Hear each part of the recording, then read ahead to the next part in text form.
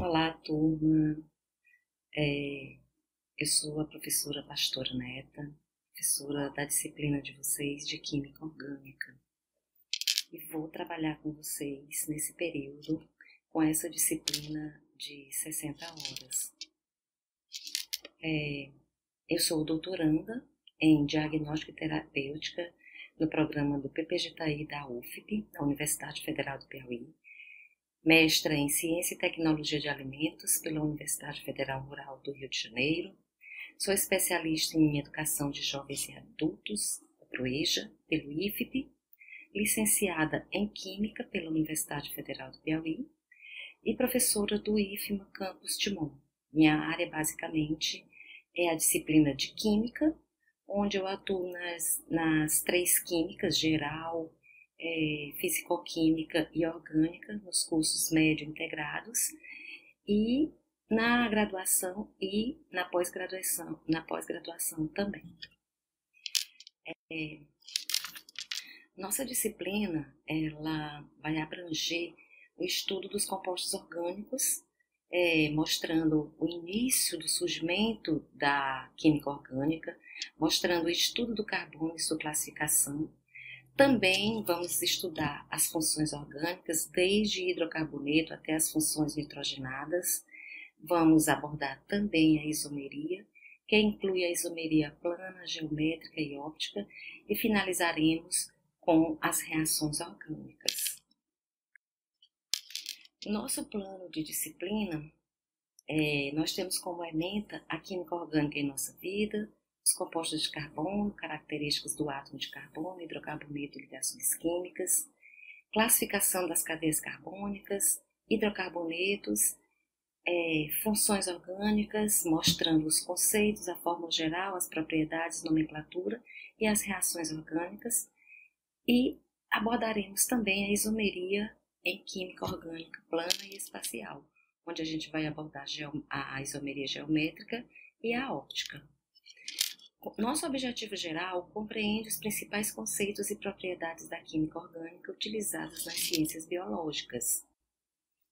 No, na unidade 1, os conteúdos que nós estudaremos serão estudo do, da química orgânica e das características do carbono, classificação de cadeias carbônicas, hidrocarbonetos, onde serão abordados conceito, classificação e é, nomenclatura. Os objetivos específicos serão reconhecer os compostos de carbono como parte principal da química orgânica, bem como relacionar esses compostos no seu cotidiano, identificar a classificação das cadeias carbônicas através de seus compostos orgânicos e conhecer os hidrocarbonetos e sua aplicabilidade no cotidiano. Na unidade 2, é, estudaremos as funções orgânicas, conceito, forma geral, nomenclatura, a classificação dessas funções orgânicas, oxigenadas, nitrogenadas e mistas, e as propriedades desses compostos orgânicos. Como objetivos específicos, nós teremos é, as seguintes, é, os seguintes objetivos: reconhecer as funções orgânicas no campo da biologia e fazer a sua interrelação com a mesma, utilizar a nomenclatura para cada grupo orgânico identificar as propriedades químicas dos compostos orgânicos correlacionados com seus grupos funcionais. Na unidade 3, abordaremos a isomeria plana, isomeria geométrica e óptica. Seus objetivos são perceber a importância da isomeria e da estereoquímica no seu percurso acadêmico e na vida, no contato com a diversidade da fauna e da flora, englobando a natureza diferenciar os tipos de isomeria de acordo e identificar também esse tipo de isomeria de acordo com a orientação dos átomos no espaço. E para finalizarmos, nós estudaremos as reações orgânicas e a classificação dessas reações orgânicas. Tá? Os objetivos específicos serão conhecer os vários tipos de reações orgânicas, compreender a importância das reações orgânicas para os seres vivos. Nosso procedimento de ensino será a participação nas atividades presenciais, a leitura e interpretação dos textos nos livros deixados é, para vocês, leitura de artigos científicos, estudos de materiais disponibilizados, resoluções de atividades no ambiente virtual de aprendizagem, resolução de atividades presenciais e realização de atividades experimentais.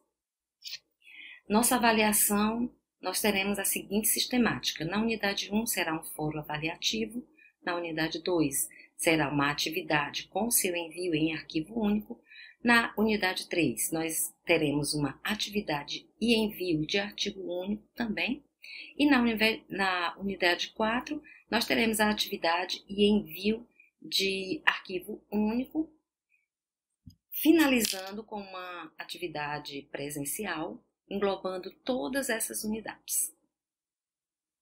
Os recursos que nós utilizaremos serão o livro, o ambiente virtual de aprendizagem e suas ferramentas e artigos científicos.